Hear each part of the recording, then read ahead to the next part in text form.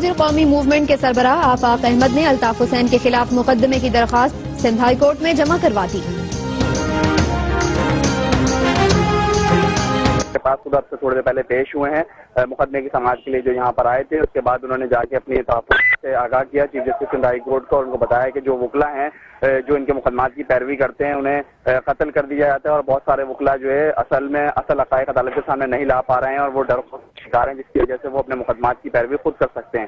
جس پر chief justice Sindh high court نے انہیں دیتے ہوئے کہا ہے کہ آپ کی معاونت اور آپ کے ساتھ تعاون کے لیے جو سندھ ہائی کورٹ بار کے صدر اور جنرل سیکرٹری جو ہے وہ آپ کے ساتھ تعاون کریں گے ہر قسم کو اور جو بھی مقدمات میں پیروی کی اگر ضرورت محسوس ہوتی ہے تو وہ آپ کے ساتھ موجود رہیں گے۔ اسی حوالے سے چیف جسٹس نے انہیں اجازت نامہ بھی دے دیا ہے اور تھوڑی دیر پہلے سندھ ہائی کورٹ میں آفاق احمد نے خود جا کر یہ درخواست دائر کی ہے، جس میں انہوں نے یہ موقف اختیار کیا ہے کہ ان کے قائد الطاف حسین کے خلاف جو ہے مقدمہ چلایا جائے اور ان کے جو ہے انٹرپول سے رابطے کے بعد ان کو گرفتار کیا جائے۔ اس مقدمے کے اندر انہوں نے یہ موقع اختیار کیا کہ نائنٹی سیون میں بیت الحمزہ پر جو اٹیک ہوا تھا وہ ان کی پر کیا گیا تھا جس کی جس میں کارکنان شہید ہوئے تھے جس کی وجہ سے ان کے خلاف بھی مقدمہ درج کیا جائے۔ جی۔ جی بہت شکریہ قیاس الدین آپ کا۔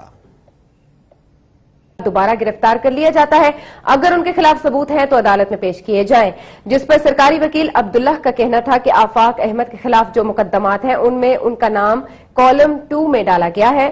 جس میں ان کے امام پر اغوا کے واقعات ہوئے۔ اس موقع پر آفاق احمد نے عدالت کو بتایا کہ گزشتہ کئی برسوں میں دوران حراست ان کے خلاف نو مقدمات بنائے گئے ہیں، جن کا پولیس کے پاس کوئی ثبوت نہیں ہے۔ جس پر عدالت نے سخت برہمی کا اظہار کرتے ہوئے کہا کہ مقدمات درست ہیں تو سزا دی جائے۔ مقدمات بنائے جا رہے ہیں اور گواہ موجود ہی نہیں ہے عدالت نے پروسیکیوٹر جنرل سنگھ کو تمام ریکارڈ کے ساتھ پیش ہونے کی ہدایت کرتے ہوئے مقدمے کی مزید سماعت پندرہ نومبر تک ملتوی کر دی۔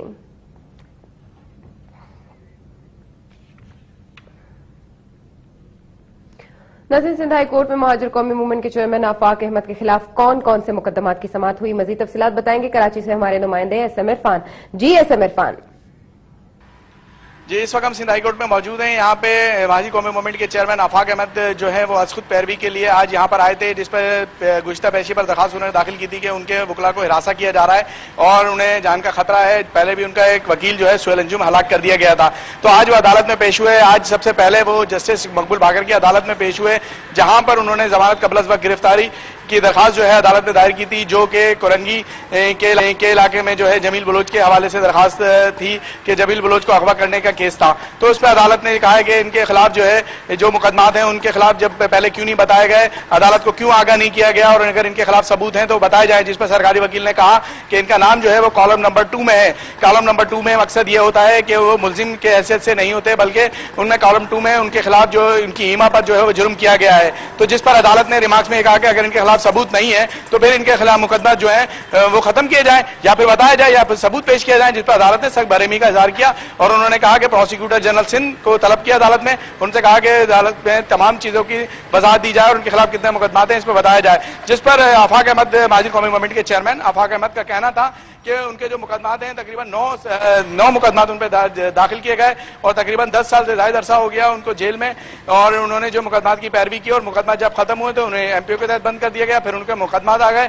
تو جس پہ بات جو ہے عدالت نے کہا کہ اگر مقدمات صحیح ہے تو انہیں پھانسی پہ پھانسی چڑھا دیا جائے۔ لیکن اگر مقدمات میں گواہ نہیں ہے تو پھر ایسے جھوٹے مقدمات کیوں بنائے جا رہے ہیں؟ تو جس پر عدالت نے کہا کہ جسٹس مقبول باگر نے سخت ریمارک دی ہے کہ ہم کب تک انسان ہونے کا ادا کریں گے۔ اور جس کے بعد جو ان کی دوسری سماعت جو درخواست کی سماعت تھی، جس میں خود پیروی کی سماعت تھی، اس کے لیے چیف جسٹس مشیر عالم کے گیا، جہاں پہ چیف جسٹس مشیر عالم نے